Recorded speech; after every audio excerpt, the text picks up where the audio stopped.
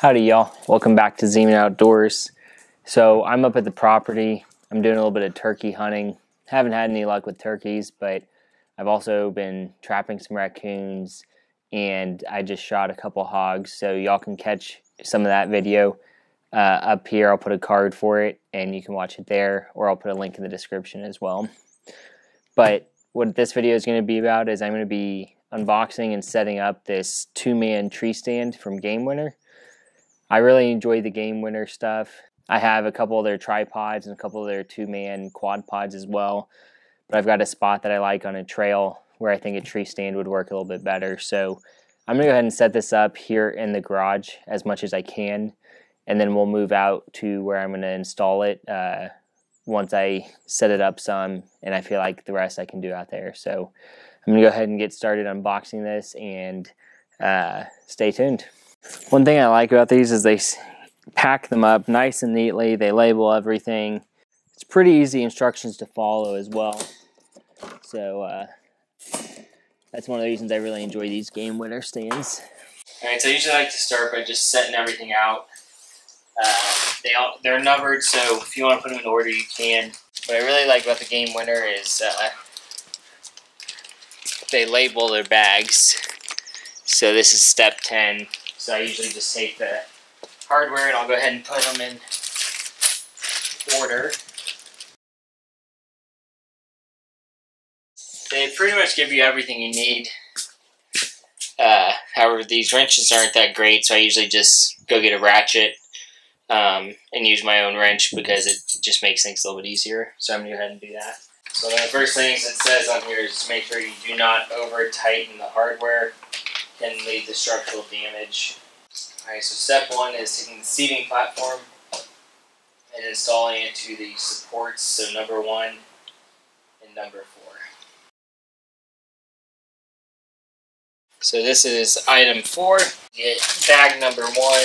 So you've got four bolts in here. And it looks like the long side will go on the bottom of this guy. But to make this easier, I'm going to flip it over. And we will install this way. So there's three holes on this number four piece. It looks like you're going to use the two closest to the bend here. So we'll go ahead and do that. So in the hardware usually is two washers and a nut. Uh, you'll leave one washer on the bolt and one will come on and be on the other side of the nut. You can either tighten that down now or wait and do this other side and then tighten all four down.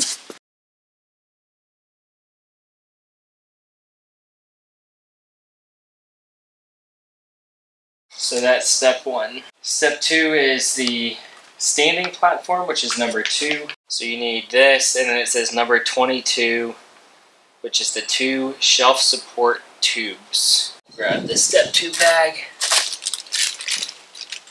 So it goes through the standing platform, through your uh, number, what's it, number four item, and then through this number 22 pole. So if you get one bolt installed, it'll make the other ones a little bit easier.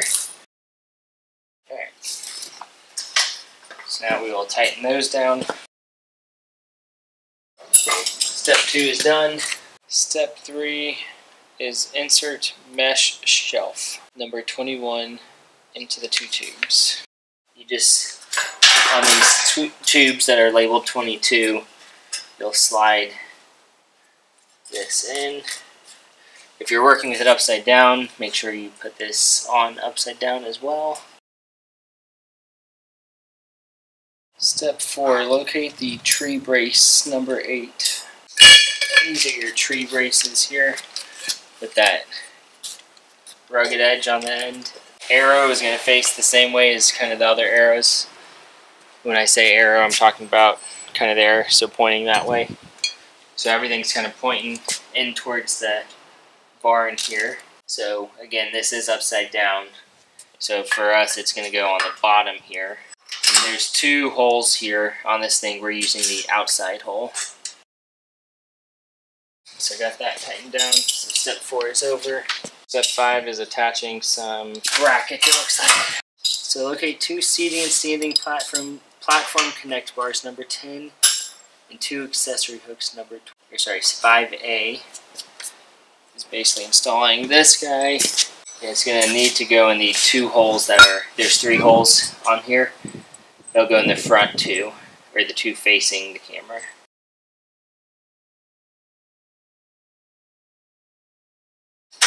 On to 5B, which is installing the accessory hooks. So it looks like the accessory hook goes here on the outside. So you'll need your uh, number 11 here instead of the 13 millimeter. These are smaller bolts. Step 5 is done. Step 6 is your armrest. So you'll need number 3. These are your armrests. They are identical. So there's two holes on either side for these. You want this bar here facing the back towards me.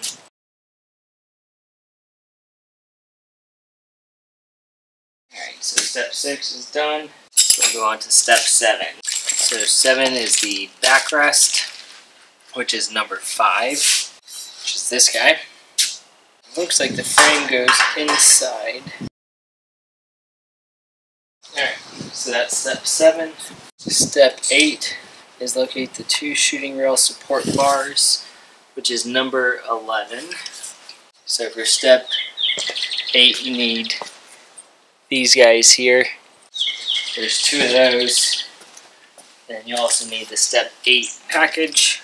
So this one's slightly uh, confusing on how to do it. So you're to take your bolt, you use one of your washers, your orange washer, this is facing up.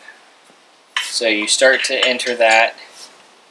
You have these other washers. Two have like a little, you know, lip on it. That's supposed to go inside here. So I'll kind of show y'all. This guy has this lip on it that goes inside like that so that it can spin freely. And then there's one on both sides, so you have to make sure you install those correctly. And then there's also a washer on the outside. Apologies, my uh, camera died. I had to pull these off from step uh, 8 here because these bushings had to slide on first. So I slid these bushings on with the knob facing inward. It's hard to tell in the picture if that's uh, correct, so we'll see. Well, we will jump to step nine, which is the shooting rail itself. So the shooting rail will just slide in just like this. And it has two bolts to lock that in. And this is using the smaller uh, bolts here again. And the bolt will go in from the top. So I think these knobs actually allow you to adjust the shooting rail is what it looks like. If you have them all the way out here, it can sit flat If you lift up, you know, the further you bring it in, the higher it'll, it'll raise up. So if you do that, so that's step nine. Step 10 looks like it starts with the ladder, which I'm not going to do the ladder here. Let's see if I can do anything else. Yes, I'm going to go ahead and do step 16. It's, I think, the last one I can do before having to go out there. And all that one is, is putting these guys on. I don't know if I'll keep this cushion on just because I think it's going to get wet and will stay wet, but we'll, we'll leave it on for now and see. That's all I can do in the garage. We will bring this out to where I'm going to set it up. And I'll show you all how I finish putting the ladder on and install this thing. I'm out in the woods and that is the tree that I'm going to be putting my stand on. So I've brought out the stand here and we will continue building it. Alright, so you need the ladder section number four, which is this guy. It says it has a number associated with it, but I don't see the number on here. And then you need two U brackets. And we'll take step 10 hardware. And it looks like these are using the smaller bolts. And your bolts are going to go from the outside in. So it has a mark on here that says this side faces the tree. So we'll flip that over. Then you'll slide your bracket over it like that. So you can go ahead and tighten that down. And then we'll do the other side. So that is step 10. So step 11 is taking the two ladder braces, number 9, installing those with the seat section. So this is your ladder brace. You have two of them. And so these are going to go like this. There. They want you to put the bolt from the inside. I'm going to do this other side next. And then I'll tighten them all up. step 11. So step 12 is pretty simple. It's just taking uh, the other sections. So you start with section 3 and you'll slip that into section 4 here. Again, make sure the side that says facing tree is facing the tree. In my instance, it's down. And you're not putting the bolts in yet. You're just putting the, the ladder parts in. And then you'll take section 2 and go ahead and put that into this section here.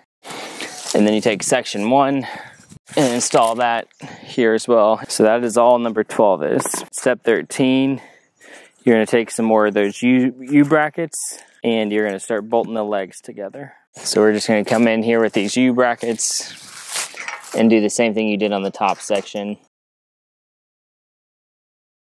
That is step 13. Step 14 is locate adjustable tree brace. Install tree brace under the ladder using two screws. So I think I may have to flip this over now to do this piece. And it says you're installing it into ladder section two. And to be the second from the bottom. And this has some of those orange washers again. So I think it's gonna go your bolt, a washer, through here, then another washer, then through your ladder, and then a washer and a nut. And it should go on the inside of the ladder. All right, so that's done. So now you'll go to step 15, and that is taking your number 13 tree brace, which is this guy here with the rigid edge on it. And you're gonna install the bolt from the top going towards the ground. And this has adjustable holes in it. I don't know if you can see that. So depending on your size of your tree, you can put different size holes here. And then you'll just put your wing nut on it and tighten that down. And the last step was 16, which was putting on the pad and stuff, which we did at the barn. So guys, that is pretty much all you need to know to actually install or set this up. I am going to see if I can get it on this tree. I'll, uh, depending how it goes, I'll show a video of me installing it on this tree as well. But make sure you do it safely. You wear the harness if it requires it, and you follow the instructions.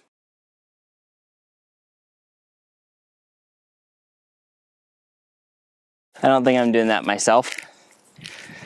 I uh, don't want to get hurt, so on this one, uh, I think we do need two or three people to do it. So I'm just gonna set it, leave it here until I can get uh, my dad to come up and help me with this. But uh, yeah, I hope y'all enjoyed this video. If I actually get a chance to video me installing it on the tree with my dad, I will uh, post another video. I'll leave the, the video in the description below as well if I do that. I was hoping I was going to be able to get it installed up there today, but it's just not really possible. It's just me doing it. So stay tuned and I will try and do a video of us installing this. Thanks for watching and see y'all next week.